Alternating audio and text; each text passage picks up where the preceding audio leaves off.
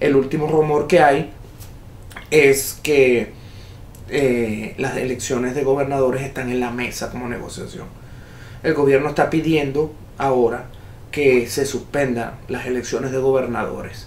Y el mejor indicativo lo podemos ver en una, en una declaración que dio ayer Tarek El el mismo socio de Reverol, los mismos que los mismos Castro no quieren, pero que es el segundo en real poder en Venezuela, aunque solo el gobernador del estado de Aragua, cuando dijo que las elecciones de gobernadores de diciembre no van por culpa de la oposición que está embaucando al pueblo venezolano en un proceso como el referéndum revocatorio.